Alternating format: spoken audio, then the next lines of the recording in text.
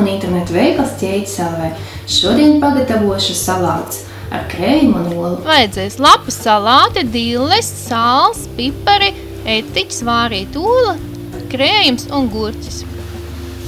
Salāti man jau iepriekš ir mazgāti un likšu salātu žābētajā. Tādā veidā salātu lapas un dīles arī, ja būtu pētersīļi, viņi sanāk sausi, ar viņiem labi strādāt, un tad no viņiem netek tas ūdens. Nav jāsasina ar lieli.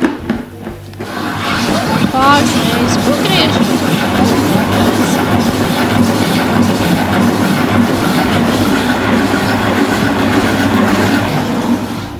Ņem vāku. Lūk, cik daudz ūdens sanāk. Un tagad sākšu ar to, ka jāsagriež salātu lapas. Citi viņus plēš, es viņus sagriežu.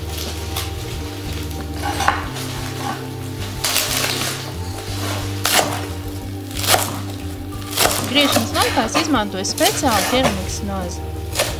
Viņš ir diezgan as un ar viņu labi strādāt.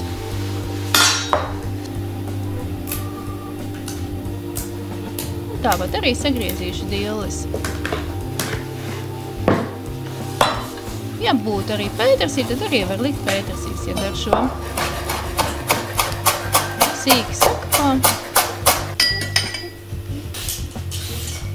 Gurķi jānomizo. Ja ir siltumnīcas gurķi, tad nav jāmizo. Vai šie lauka gurķi. Un sagriež ķēlītēs. Olu vārīja 8 minūtes.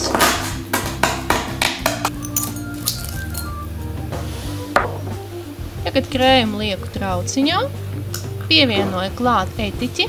Etiķi izmantoju vīna vai arī var ābolu.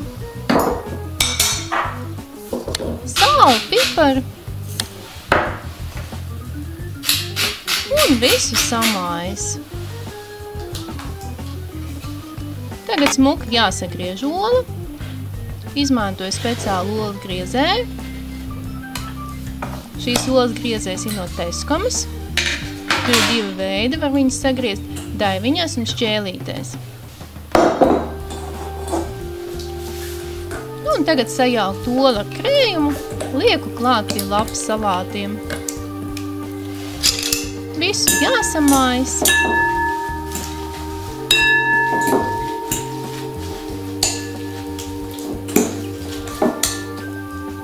Un kārtošu salātu traukā.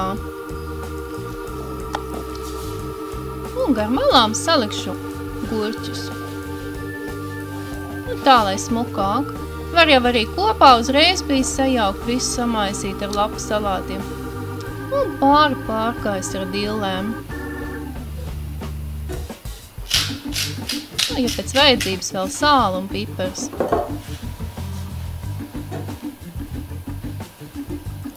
Salāti ar krējumu un olu gatavu.